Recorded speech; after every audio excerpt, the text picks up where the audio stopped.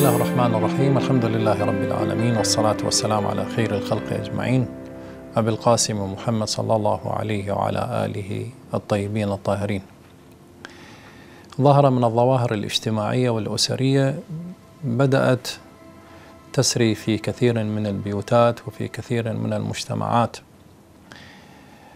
وكثير من الآباء يشكون وجود هكذا ظاهرة وهكذا حالة في بيوتهم وفي أسر في أسرهم.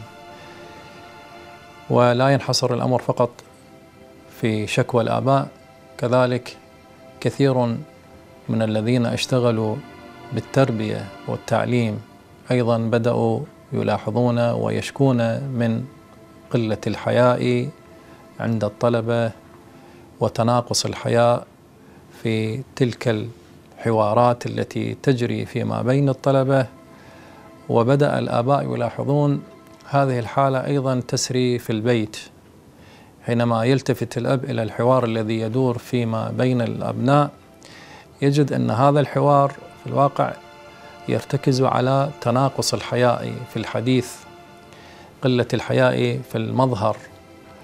بدأ كثير من الأبناء يتمظهرون بمظهر لا يتناسب مع الثوابت الإسلامية. كذلك حينما يخرج الشاب من الدار يذهب إلى المدرسة وإذا يلحظ على هذا الزي إنه في الواقع لا ينسجم مع التربية الإسلامية ولا ينسجم مع الأسرة المسلمة.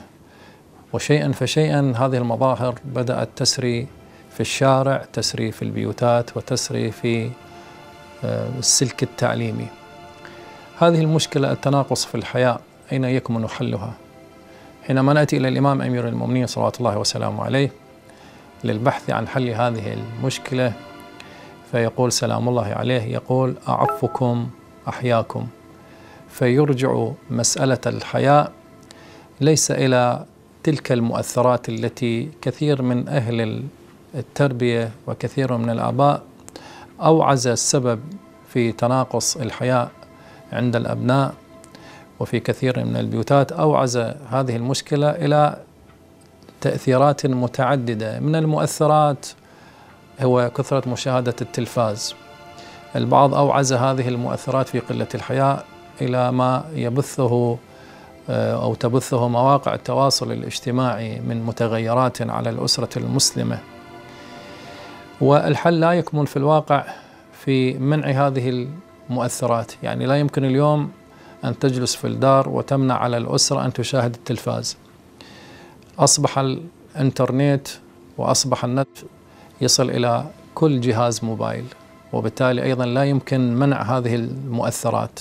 حل المشكلة كما بين الإمام أمير المؤمنين صلى الله وسلامه عليه أرجعها إلى العفة والعفة معناها أن يتحكم العقل بالرغبات الشهوية. بمعنى يبدأ الإنسان من الأساس يضع تلك الأسس في التربية حينما يضبط الوالدان عملية طعام الأبناء كثير من الأبناء يأتي إلى الطعام لكن يأتي بشراهة والشراهة في الطعام هي منشأها الشهوة شهوة الطعام. يلبس لا يقتنع بملبس واحد. كثير من الأبناء يتحججون على الملبس يغيرون كثير من ملابسهم. السبب في ذلك هي شهوة الملبس. إذا ينبغي الرجوع على الأصل كما بين أمير المؤمنين. حينما يعتمد الإنسان منهج العفة لا شك سيوفق إلى الحياء.